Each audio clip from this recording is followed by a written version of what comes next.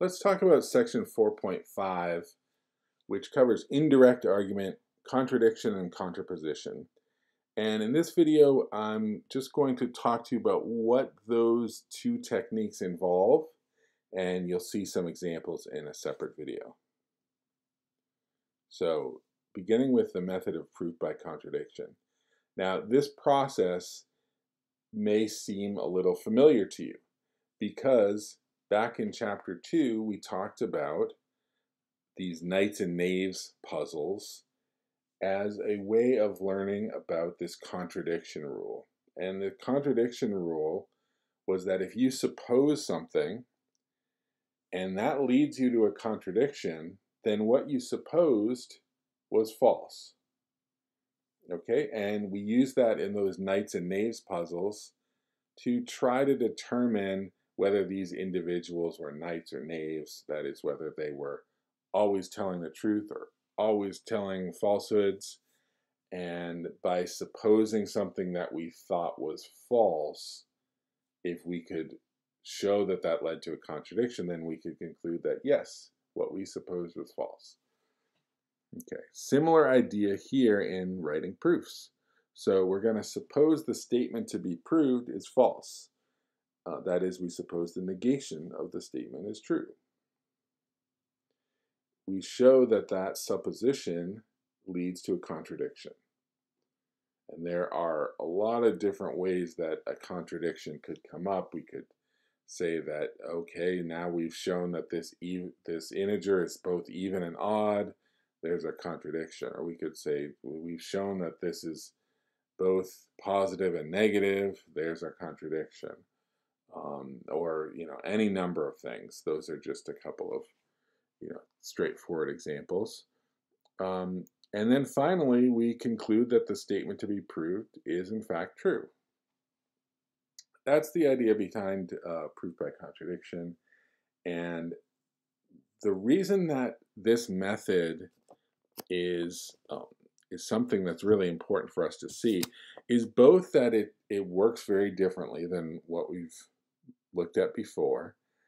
But more importantly, in certain kinds of statements, proof, uh, a direct proof would be very difficult, where a proof by contradiction might be comparatively much easier. So there are times when when the statement that we're trying to prove really lends itself to this, this method. Okay, so it's not just an alternative that you can you know, take it or leave it. This is really going to um, make things easier in certain cases. And the same is true by proof by contraposition.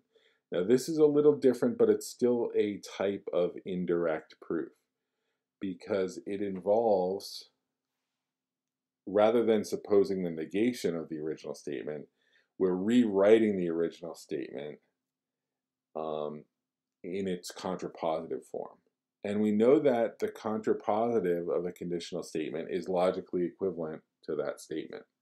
So we're replacing the given statement with something that's easier to work with, um, namely its contrapositive. And again, in some cases, this will be beneficial to us. In other cases, there's no need to do this. So it's it's a method that sometimes is very helpful, sometimes not necessary.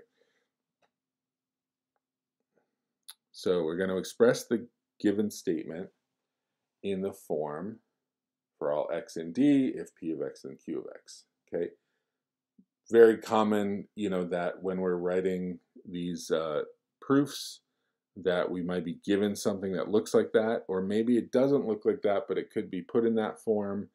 And you don't necessarily have to actually rewrite it. You can sometimes do this mentally and just think, well, if this were an if then, what would it look like?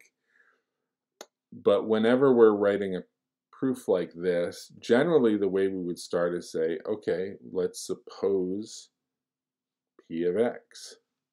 Okay, but we're not going to do that in proof by contraposition because what we're doing is we're replacing it with the contrapositive for all x and d. If not q of x, then not p of x. and then we prove the contrapositive with a direct proof. Okay, so we are doing a, a regular direct proof after we replace the original statement with its contrapositive. And that's what proof by contraposition is. The next topic that we'll get into is actually the start of the next chapter, um, chapter 5, and the first section in chapter 5 is about sequences. Hope you found this video helpful. We'll see you in the next one.